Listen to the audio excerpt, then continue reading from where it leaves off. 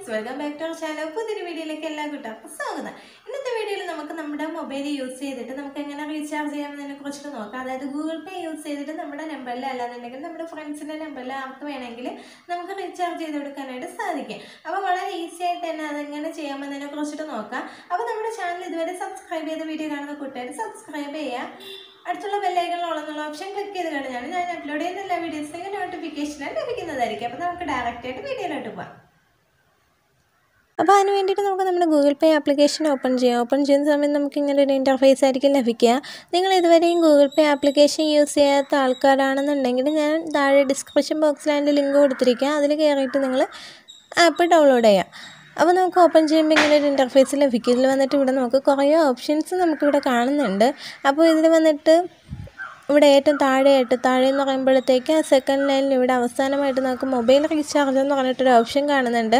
അത് മാത്രമല്ല നമുക്ക് ഇവിടെ നിന്ന് ബാങ്ക് ട്രാൻസ്ഫർ ചെയ്യാൻ പറ്റും. മറ്റുള്ള കോൺടാക്റ്റിൽ വന്നിട്ട് നമുക്ക് മണി സെൻഡ് ചെയ്യാനായിട്ട് സാധിക്കും. അങ്ങനെ നമുക്ക് ഒത്തിരി കാര്യങ്ങൾ ഇവിടെ അവൈലബിൾ ആണ്. അപ്പം മൊബൈൽ റീചാർജ് എന്നുള്ളതിൽ ജസ്റ്റ് ഒന്ന് ക്ലിക്ക് ചെയ്ത് കൊടുക്കുക ക്ലിക്ക് ചെയ്ത് കൊടുക്കുമ്പോൾ നമുക്ക് ഇങ്ങനെ കുറേ ഓപ്ഷൻസ് കിട്ടും. ഇവിടെ വന്നിട്ട് താഴോട്ട് നമ്മുടെ കോൺടാക്റ്റുകൾ നമുക്ക് കാണാൻ സാധിക്കുന്നുണ്ട്. ഞാനിതൊക്കെ വന്നിട്ട് നേരത്തെ എന്റെ മൊബൈൽ യൂസ് ചെയ്തിട്ട് റീചാർജ് ചെയ്ത നമ്പറാണ്.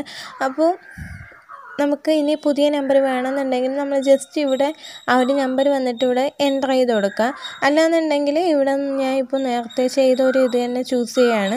അപ്പോൾ ഞാനിവിടെ എന്റെ നമ്പറിലോട്ട് തന്നെ ഞാനിവിടെ ചെയ്തിട്ടുണ്ട്. അപ്പോൾ നിങ്ങൾക്കിപ്പോൾ ഞാൻ എന്റെ നമ്പർ കാണിക്കുന്നില്ല. വേറെ ഒരാളുടെ മൊബൈൽ നമ്പർ യൂസ് ചെയ്തിട്ട് അതിലോട്ട് ചെയ്യുന്ന കാണിച്ചു തരാം. അപ്പോൾ ഞാനിതിപ്പോൾ അങ്ങനെ ചെയ്തതാണ്.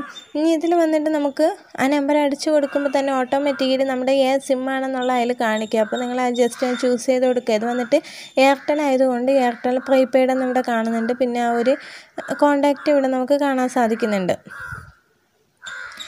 അടുത്ത അത് കഴിഞ്ഞിട്ട് നമുക്കിവിടെ നോക്കുമ്പോഴത്തേക്ക് സെർച്ച് ഫോർ പ്ലാൻ ഓർ എന്റെ എമൗണ്ട് എന്ന് പറഞ്ഞിട്ട് കൊടുത്തിട്ടുണ്ട്. അപ്പോൾ നമുക്കിപ്പോൾ ഏതെങ്കിലും ഒരു എമൗണ്ട് ഇവിടെ നമ്മൾ എന്റർ ചെയ്ത് കൊടുക്കുകയാണെന്നുണ്ടെങ്കിൽ ഞാനിപ്പോൾ ഇരുന്നൂറെന്ന് ടൈപ്പ് ചെയ്ത് കൊടുക്കുകയാണ്. അപ്പോൾ ഇരുന്നൂറെന്ന് ടൈപ്പ് ചെയ്ത് കൊടുക്കുമ്പോഴത്തേക്ക് ആ ഒരു റേറ്റിന് എത്ര പ്ലാൻ ഉണ്ടെന്ന് ഇവിടെ കാണിക്കുന്നുണ്ട്. നൂറ്റി തൊണ്ണൂറ്റി ഒമ്പതിനൊരു പ്ലാൻ ഉണ്ട്. ഇരുന്നൂറ്റി ഒൻപതിനൊരു പ്ലാൻ ഉണ്ട്. അങ്ങനെ കുറേ പ്ലാൻ ഇവിടെ കാണിക്കുന്നുണ്ട്. അല്ലാന്നുണ്ടെങ്കിൽ ജസ്റ്റ് നമ്മളിവിടെ നിന്ന് സ്ക്രോൾ ചെയ്ത് പോകുമ്പോൾ ഇവിടെ നമുക്ക് പ്ലാനൊക്കെ കാണാൻ സാധിക്കുന്നുണ്ട്. അപ്പോൾ ജസ്റ്റ് നമുക്ക് അതിലൊന്ന് ക്ലിക്ക് ചെയ്ത് കൊടുക്കുക ഏതാണ് ഈ പ്ലാൻ വേണ്ടതെന്നുള്ളതൊന്ന് ചൂസ് ചെയ്തിട്ട് അതൊന്ന് ക്ലിക്ക് ചെയ്ത് കൊടുക്കാം.